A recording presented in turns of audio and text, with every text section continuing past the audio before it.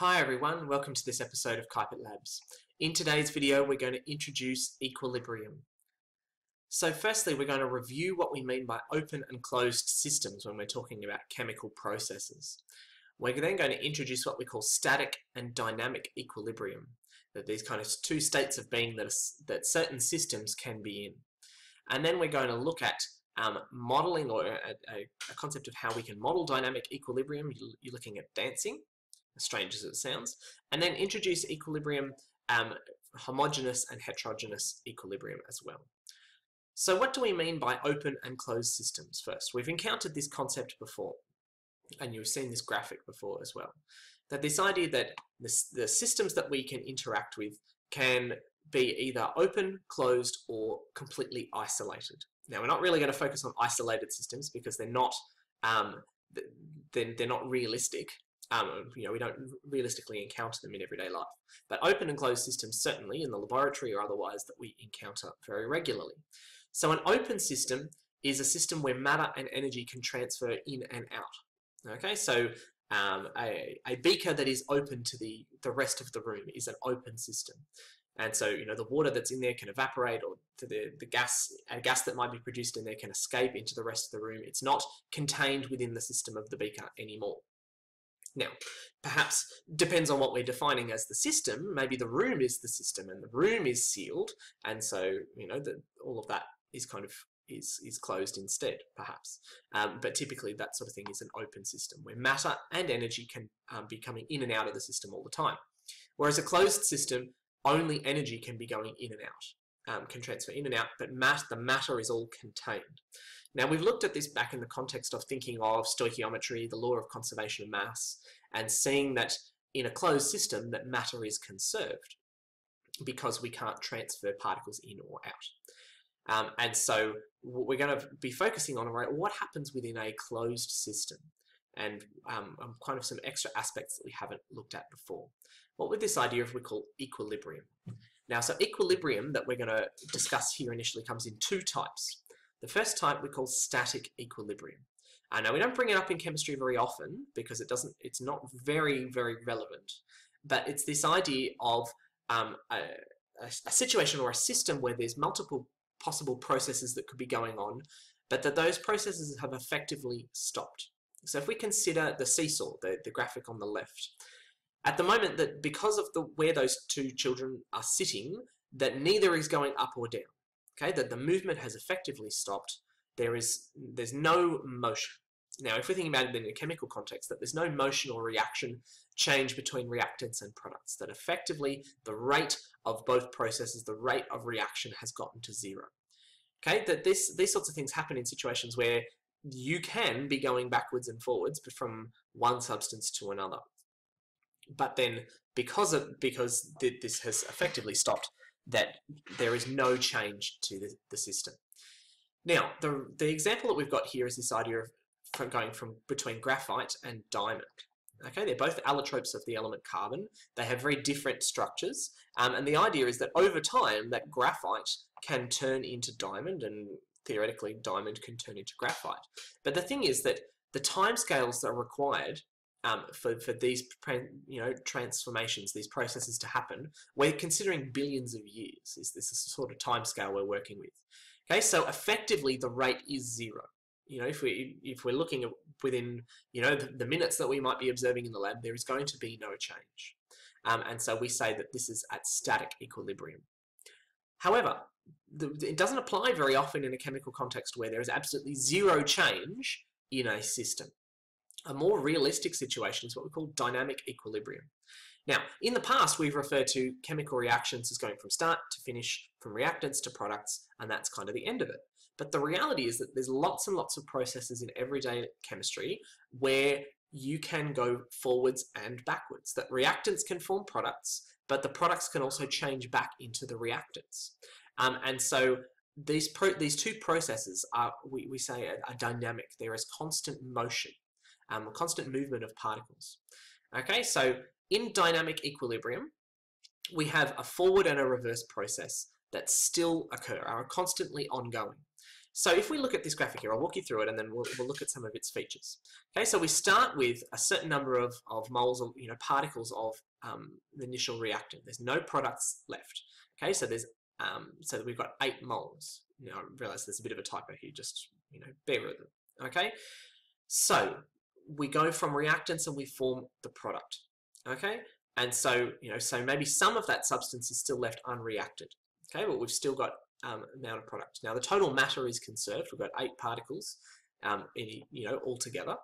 But so then what happens is that then some of these products can actually reform the reactants. It can go back to the left-hand side. So some of them go back to the left um, as we get to this um, this state. We still have the total number of moles. There's still all the particles, all the atoms are accounted for. And then what happens is that eventually over time we kind of get these backwards and forwards processes happening over and over until we eventually establish a, a steady state.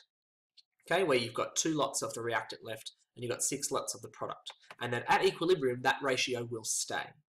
Um, now, one thing to keep in mind though is what we're saying about it being dynamic equilibrium is that the, the forming of the, the reactants forming products and the products forming reactants are processes that continue to occur. However, the rate of formation is equal. So what that means is that we don't observe any macroscopic changes to the system. So things in things that we can actually see firsthand, we're not going to notice. So there's no change in temperature, no change in pH. There's not going to be change in concentration or color or any of those other things that we would identify as, as being a reaction that's ongoing. But that doesn't mean that nothing's happening. That's that's the thing that I want you to keep in mind is at the particle level, there's still plenty happening. And the way that I can visualize that or help you to see that is by looking at a model of looking at dancing. Okay, now I, this is not an original concept, but just so hear me out here. So what we're saying is that the um, the people that are getting up to dance are the reactants.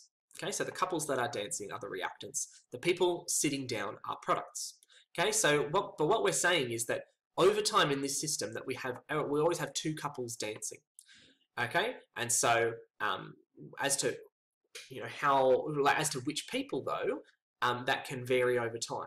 So we still have so we have the same number of people sitting down and the same number of people dancing, but that you know we will have some people sitting down who stand up, some people who are dancing will sit down. The rate at which that happens have become equal, so that then it seems like we have the same number. However, this, there's this constant movement of people going backwards and forwards so that overall the same the name the number stays constant but there is constant change in this system from you know person to person. Um, so that's this is kind of helps to represent dynamic equilibrium. If you kept looking at the the room at any one moment you'd still see the same number of people sitting the same number of people dancing um, but the fact that individual particles are constantly swapping places from one to the other Okay, and that's what we notice in dynamic equilibrium. Now, equilibrium, this idea of this steady state where we have a mixture of reactants and products, we've got processes going backwards and forwards, um, depending on the, the state of matter that those, those substances are in, we can define equilibrium as either homogeneous or heterogeneous equilibrium. Okay, so homogeneous is where all the reactants, all the substances in that equilibrium equation are in the same state or phase. Okay, so for example, a solution of acetic acid, which is this CH3COOH. Um, that's the main kind of component in vinegar. And so we have all of these substances are dissolved in water. They're all in the same phase, the aqueous phase. Okay, so we have a combined molecule and we have separate ions, the acetate ion and the hydrogen ion. Okay, and so we represent equilibrium with this double-headed arrow. Um, this idea that we can take an acetic acid molecule and split it into ions. Sometimes we will take these ions and combine them to go back this way. Another example is the formation of ammonia, NH3, in the Haber process, a particular um, important industrial reaction. All of these substances are in the gas phase, so it is a homogeneous equilibrium. Okay, we're in equilibrium between nitrogen and hydrogen gases and ammonia as the product. Again, the double-headed arrow to represent equilibrium. So if homogeneous means they're all in the same phase, then by logic, heterogeneous means that substances are in different states or phases. Now, they're not necessarily all in different states, but they're not all the same. That's the difference. So the decomposition of sodium hydrogen carbonate, or sodium bicarbonate, um, we have solids and we have gases and liquids in equilibrium with each other. Okay, so we've got a solid on the left, but we've got a mixture of all three states on the right. Okay, the formation of a silver chloride precipitate, we've got an equilibrium between aqueous ions and a solid compound. Um, okay, so they are in different states, different phases. So the different the subscripts that we have here will be different across the equilibrium. Now, this, this idea of homogeneous versus heterogeneous equilibrium will factor in a little bit later in this module when we start to look at, all right, well, how do we determine um, what substances are present at equilibrium and how much? Okay, that it will become quite relevant. All right, so we reviewed what we mean by open and closed systems and seeing that a closed system is one where matter can't transfer in or out, only energy can. We're looking at then that sometimes in closed systems where the matter is contained, we reach what we call equilibrium. This idea where there's two processes that could be happening, reactants forming products, products forming reactants, that then we get to this kind of steady state or this, this kind of both things are happening at equal rates. In a static equilibrium, both rates are zero. It's effectively stopped, no change whatsoever. Um, and whereas in a dynamic equilibrium, that's not the case, the processes are equal, but there's constant change that's going on. We looked at how to model that by looking at the, a scenario of dancing with couples sitting down and couples standing up to dance. Um, and then we looked at the difference between homogeneous and heterogeneous equilibrium, um, seeing that the state of matter has a direct bearing on um, what type of equilibrium it has. All right, thanks very much for watching. Bye for now.